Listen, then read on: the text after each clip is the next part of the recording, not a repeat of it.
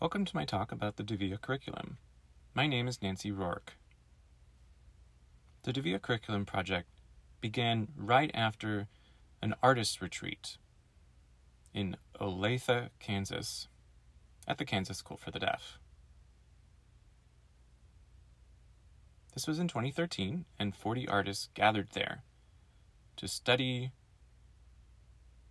the past, the present, and the future of De'VIA.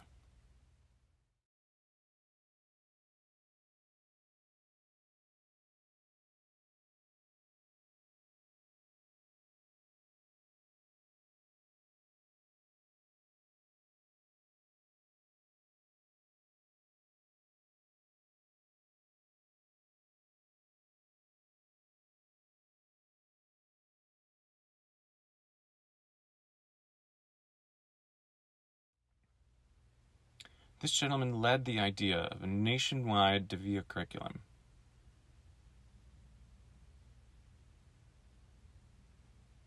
We train teachers on an annual basis how to develop their own curricula in their schools, focusing on De'VIA principles.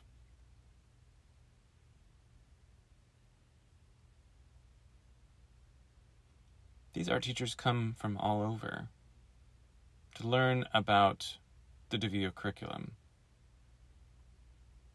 Many of them have already developed their own personal and professional curricula, but they feel this collaboration is important. We've also had some teachers from other fields, and they've been able to apply these curriculum goals to their own work.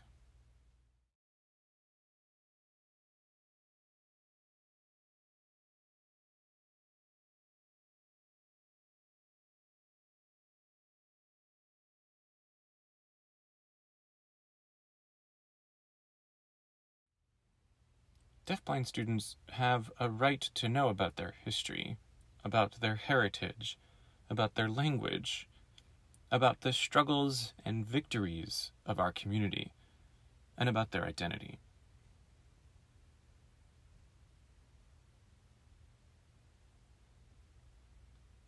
We believe that this is possible through visual art, that these students can express themselves and that they can see their struggles through the visual arts. We focus on the deaf experience. Deaf and deaf-blind students will be introduced to several things. First, the meaning behind De'VIA. Second, the history of the movement. Third, the motifs, themes, and categories of De'VIA art.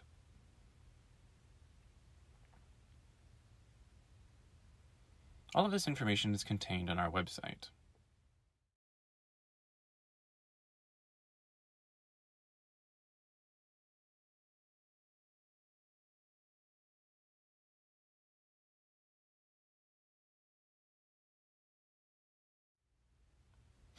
Let's start with the meaning of De'VIA.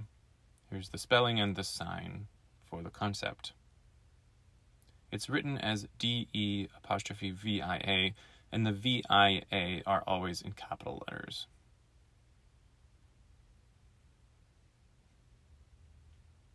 The apostrophe is a nod to the French, specifically a nod to Laurent Clerc, who brought LSF to the United States.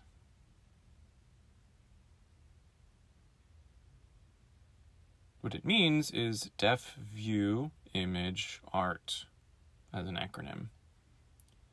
We put a slash there between those two words because there's one sign. It's, it's a classifier or a compound sign. We have the hand, which represents the canvas, and the deaf experience is put onto that canvas. So there's image there and that's really what De'VIA stands for.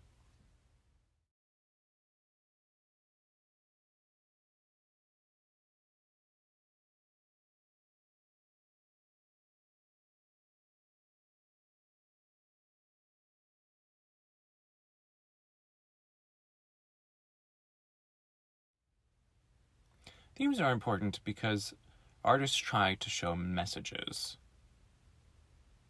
through these themes. One of them is unity.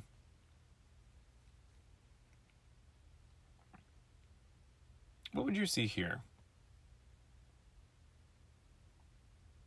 You see a hand motif.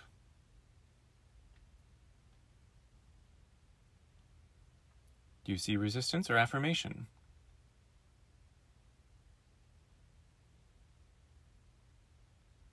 You see affirmation. Here's another painting I'm going to show you with a unity theme in the affirmation category and contains the hand motif.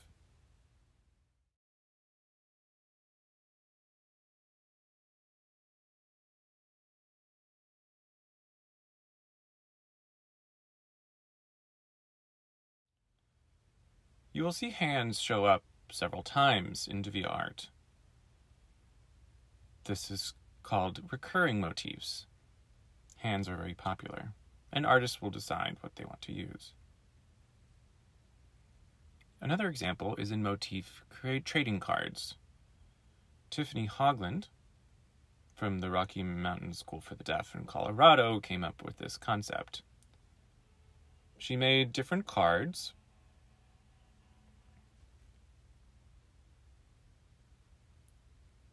and the teacher will pick different pictures with the meaning explained below them. She'll have a stack of these, and she'll pass them out to the students for them to pick one or two different motifs, and then create art from those.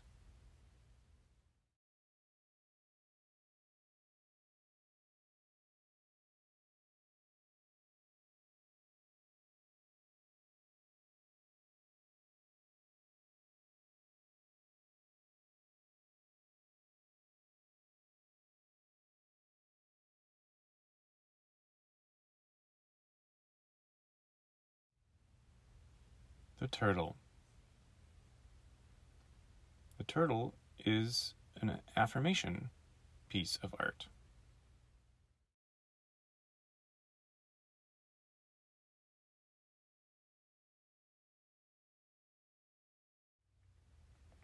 The turtle has no ears. So, in the same way as us, the turtle is deaf. The turtle has a hard shell on its back, symbolizing strength. The turtle is also slow, takes its time, like the deaf community, which is even keeled.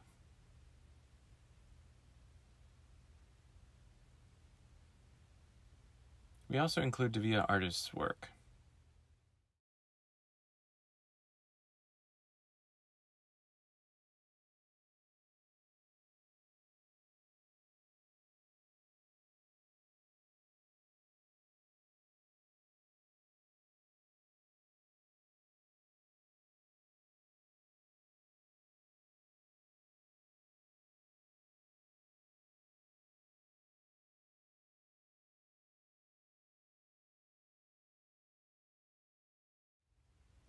The American School for the Deaf is proud to sponsor the National Deaf Education Conference, which has created the NDEC Signs and NDEC Engage series this year.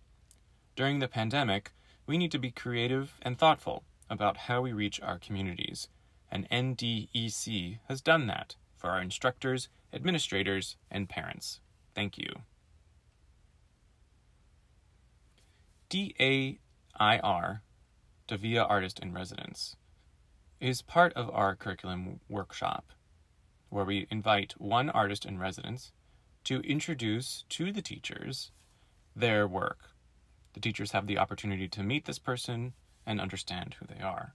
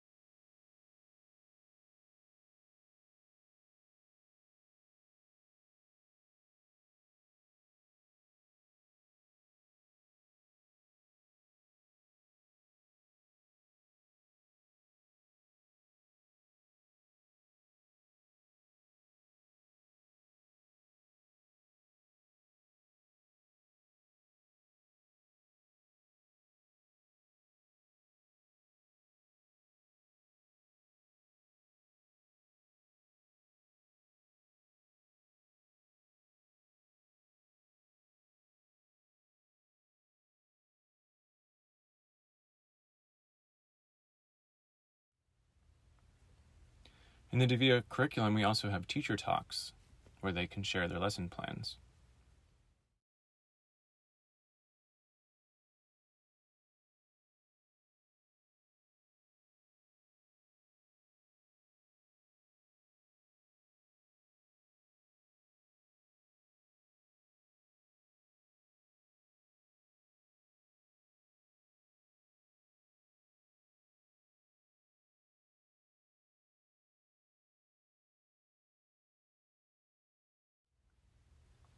We asked teachers to discuss the best signs for specific vocabulary items through video.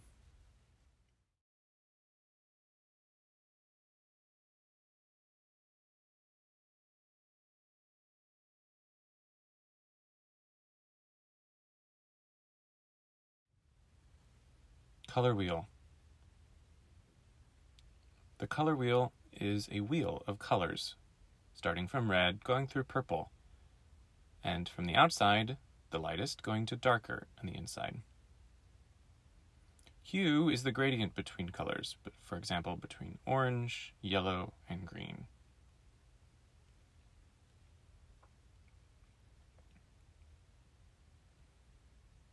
Dali has two name signs.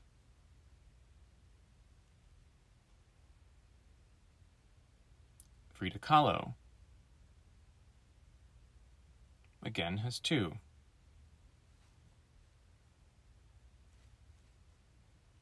Michelangelo.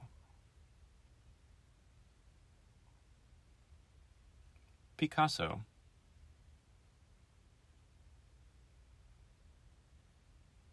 Van Gogh.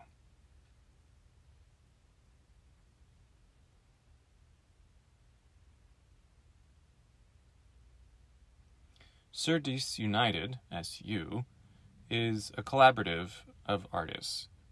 Our goal is to honor Betty Miller and Chuck Baird, two famous De'VIA artists who were influential, and we want students to know who they were.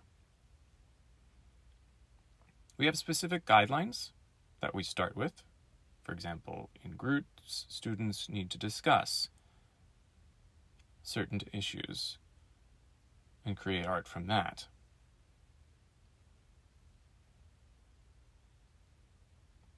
They pick motifs, they make videos, and so on to explain what those motifs are and their process in creating the art.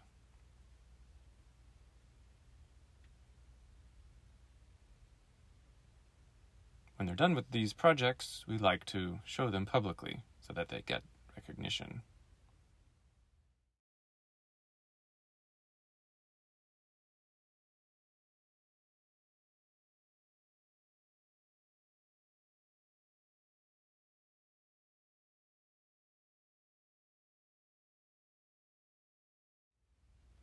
Our class created something to honor Betty Miller and Chuck Baird.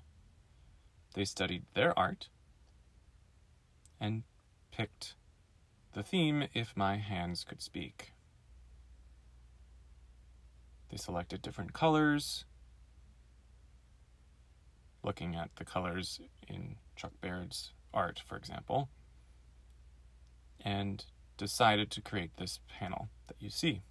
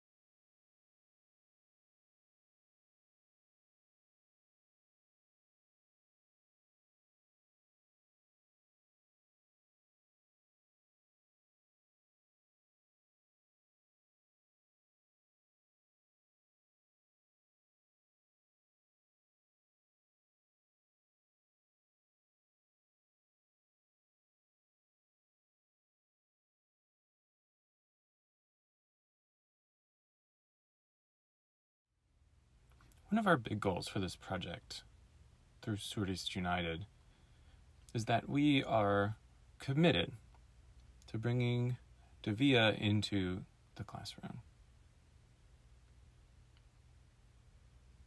Thank you.